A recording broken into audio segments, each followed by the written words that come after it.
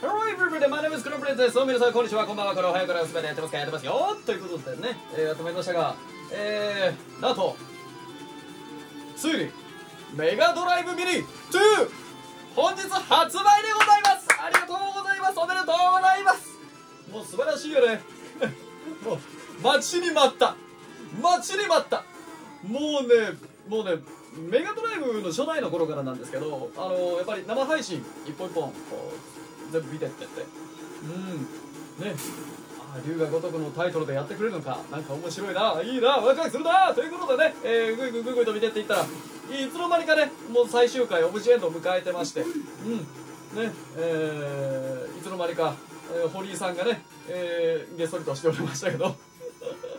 本当にね、うん、あのーもものすごくあの期待してる期待してるって言ったら申し訳ないんですけどこうね。CPU の68がねえー、もうむき出しでね YouTube のこう生放送に乗るわけですよ。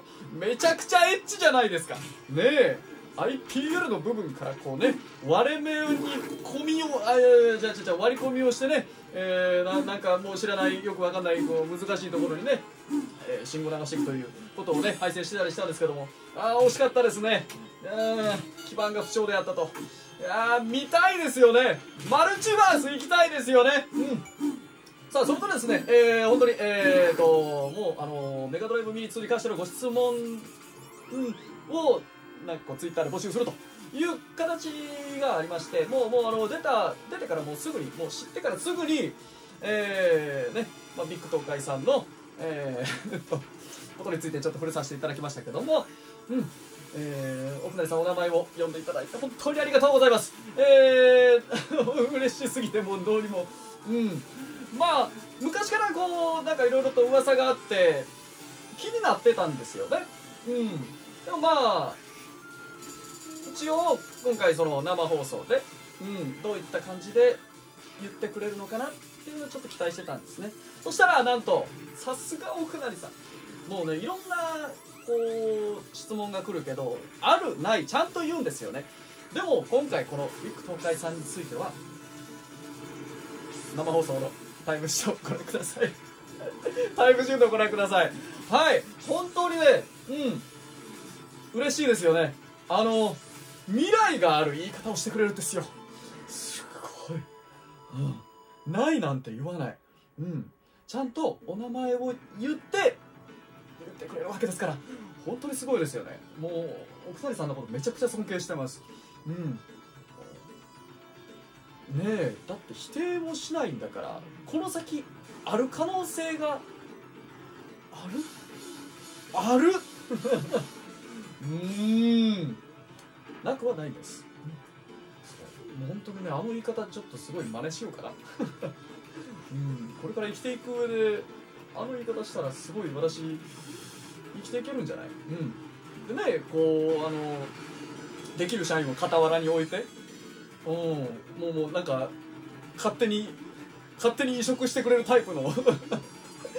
できるできる社員をね傍らに置いて。うーん。ね。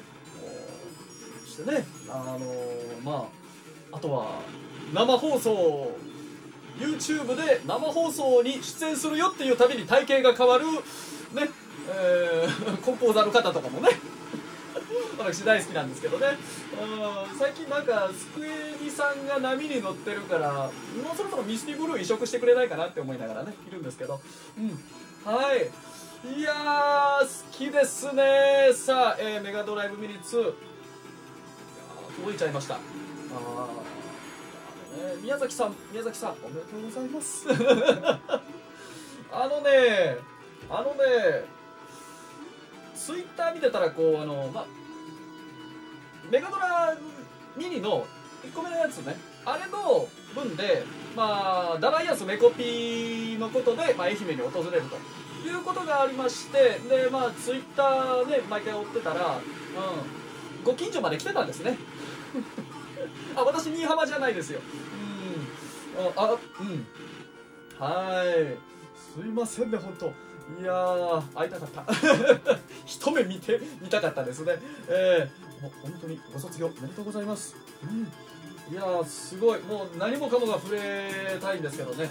えー、いや待ちに待っておりました。はい。えー、っと、まあ、動画もちょくっと、えー、1本上げさせてもらったんですけどえー、マルチバースの世界へようこそ。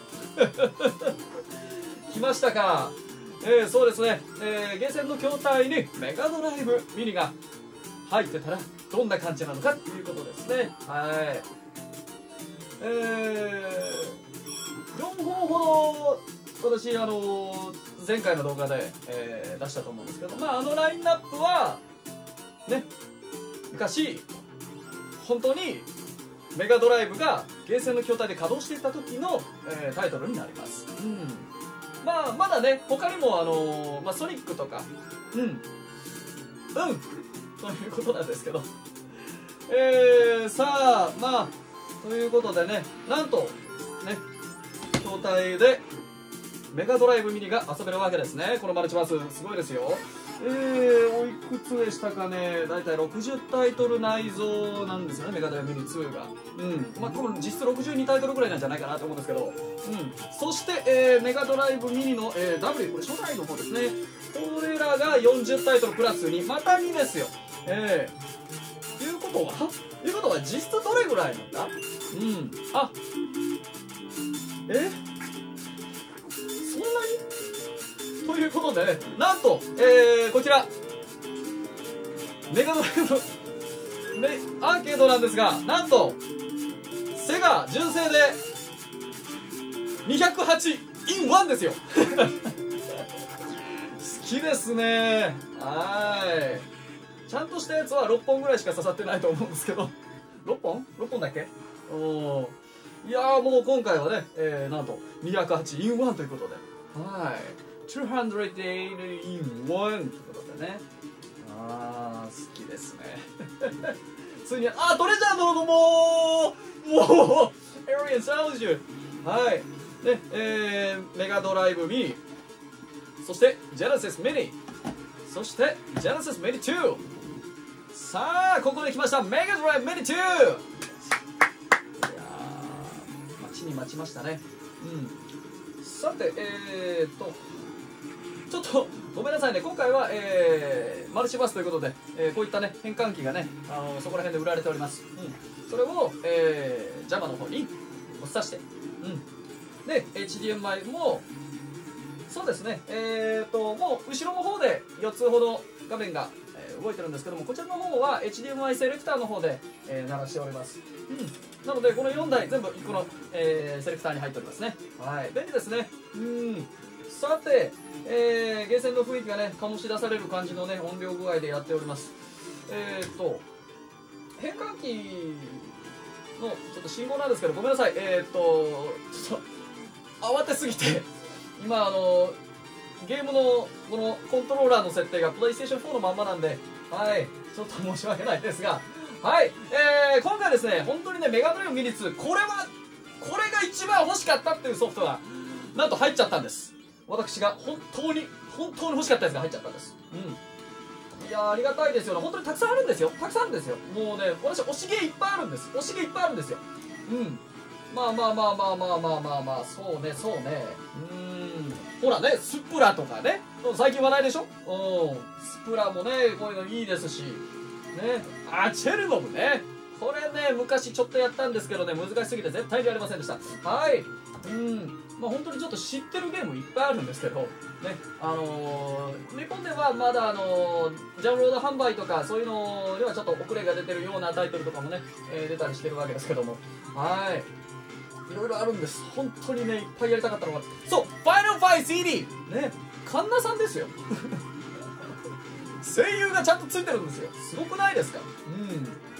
まあまあまあベルトスクロールアクションで声優って言ったら私一番推してるのは小城ユーザーさんなんですけどはい。えー、ねまあやっぱりあのセガの問題だけでやりたいセガ級っていうのもね本当にねちょっと今回めちゃくちゃ目引かれましたね。いっぱいあるんですよ本当に。ファンタジーゾーンああいいですね。ああもうぷよぷよさん。ぷよぷよさん。いやもうこれね絵見るだけで可愛いです。やばいです。尋常じゃないですよこれ。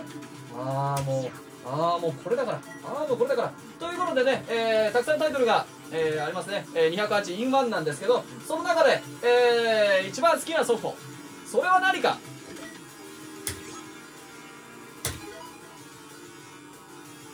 スーパーアクバティ すごい好きなんですよ。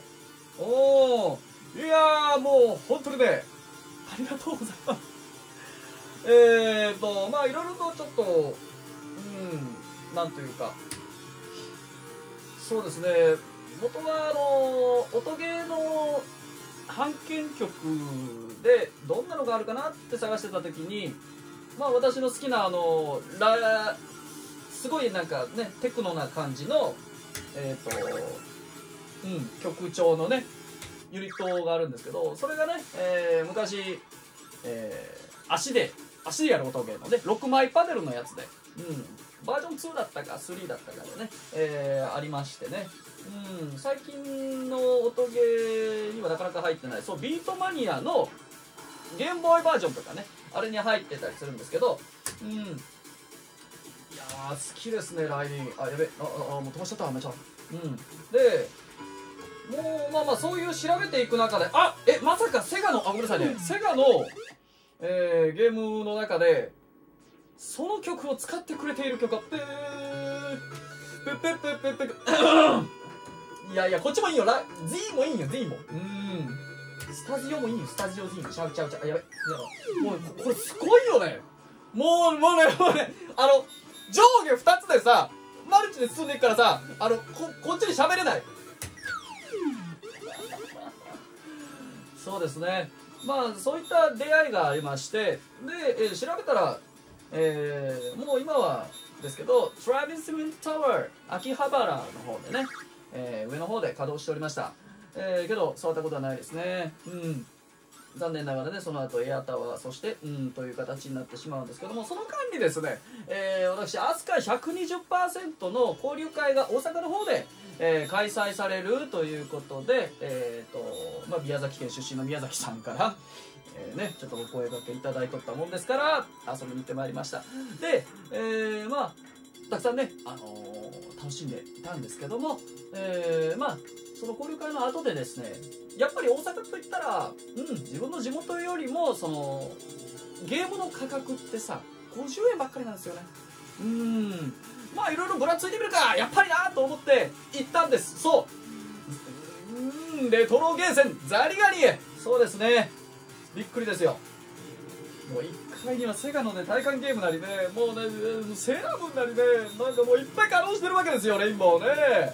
はい。でねたくさん見て階段登っていってうんああこの音はってなるじゃないですか。うんそう。皆さんが階段を上がっていって横に行ってジャッキー・チェンの格ゲー絶対やりたいっていう。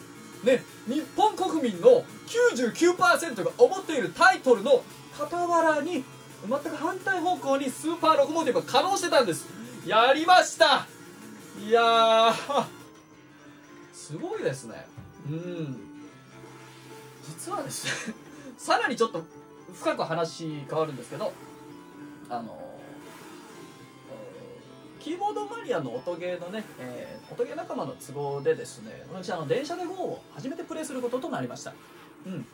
でまあいろいろとね操作も教えてもらいながらやったんですけどなんとですねその後にでスーパーワカマティブやったんですよ。まあ電車。電車。ということでね。いやほんとすごいですよ。だって鉄橋を渡る時だってピーってなってるんですよ。皆さんちゃんとやったことないでしょ。やったことないでしょ。うん。私欲しくて探し回ってたんだからねこのゲーム。うん。